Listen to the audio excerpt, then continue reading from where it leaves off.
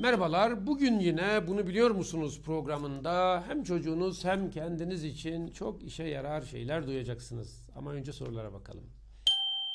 Hocam merhaba, ben Yiğit. En yakın arkadaşımla hedeflerimiz aynı. Fakat o benden daha iyi. Ben bu duruma takıyorum, sizce hedefimi değiştirmeli miyim? Bu durumu niye hedefe bağladığını iyi düşün. Aslında hedefiniz aynı olabilir ama başarılarınız ve konuları anlama ve sınav sonuçlarınız farklı olabilir. Bunun hedefle bir ilişkisi olabilir de olmayabilir de ama ben olmadığını düşünüyor.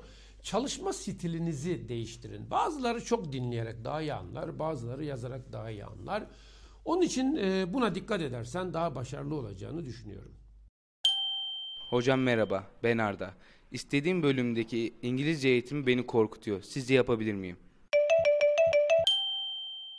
Sevgili öğrenciler, içinde bulunduğunuz yaşta bir şeyi öğrenemem diye korkuyorsanız eğer gerçekten e, bir öğretmenle, rehber öğretmenle veya bu işi yapanlarla bir konuşunuz. Elbette ki yaparsınız.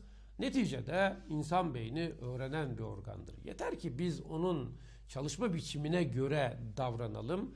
İngilizce öğrenmek sizin bulunduğunuz yaşta çok çok kolaydır. İleri yaşlarda biraz zararlıdır, zordur. Ha ne yapacaksınız? Hedefinizden vazgeçmeyin, yolunuza devam edin. Hocam merhabalar ben Burçak. Kardeşim sınava hazırlanıyor. Kaygı bozukluğu yaşayıp yaşamadığını nasıl anlarım?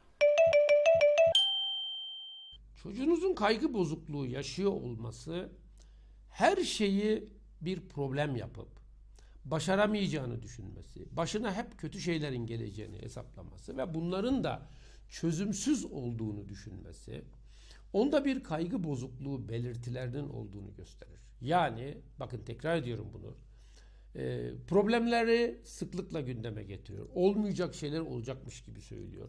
Ve bunları çözemeyeceğini söylüyorsa aslında kaygılarını ki üst üste yığdığımız korkulardır kaygıların e, adı. E, ne demek kaygı? İçinde çok sayıda korkuyu barındırıyor demek ve bunlarla baş edemiyordur. O zaman lütfen bir uzmana danışmanızda fayda var.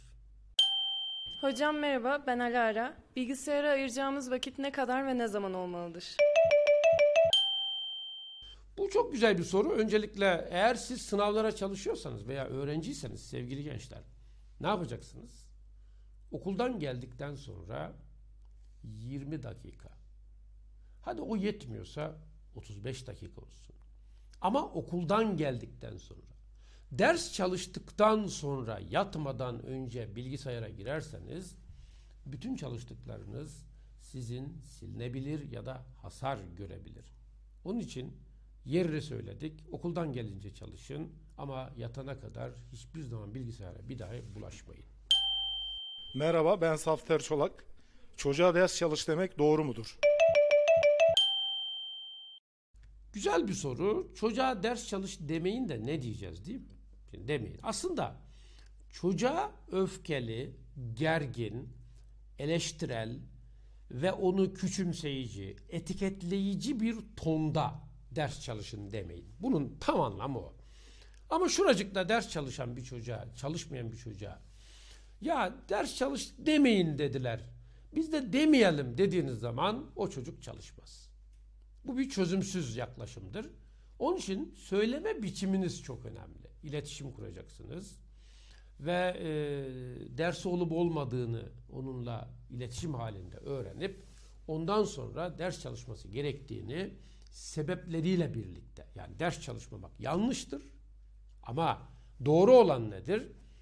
İşte dinlenmeyle ders çalışma zamanını birbirine karıştırmamasıdır ki bunun bu yönde telkin edilmesi gerekiyor.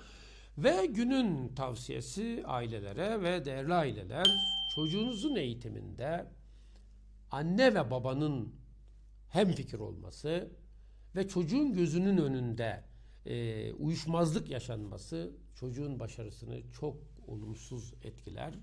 Lütfen çocuğun eğitiminde hem fikir olunuz ve hafta içi her gün tam bu saatte bizi izlemeyi de unutmayınız.